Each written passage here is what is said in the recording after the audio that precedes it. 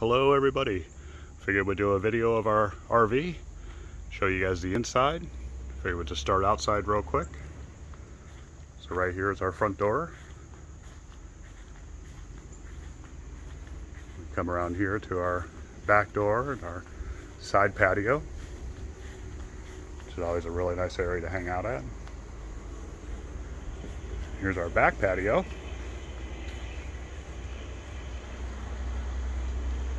Which is always nice to come out and relax. Right now it's in the full sun. Apologize about the truck coming by.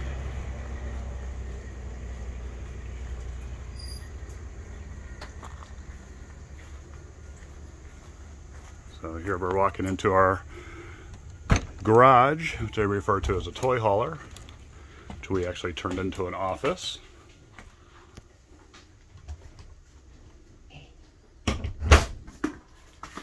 There's our back patio here. It's a really nice area. We come out here and play card games and backgammon and actually teaching Sherry how to play chess right about now. And we try to keep everything personal, so we have a couple little personal effects up here, hanging up on the wall. In that room there is a second bathroom that we don't use. It's more of a storage. So here's some of the photos we have. Kind of trying to back up here so you guys can see this. These are uh, medals. Sherry ran a marathon and we've done a couple half marathons together, 10Ks.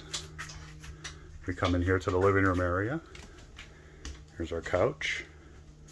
And this is Sherry's office. Pan around here, it's through the kitchen. We do have a residential refrigerator, so it's full size, which is nice. Here's our TV area.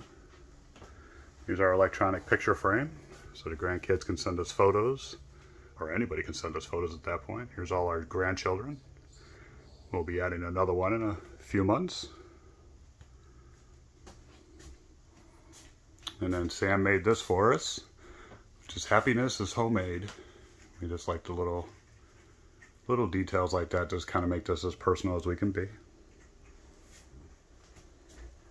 Let me come up through the stairs here. Here's our bathroom.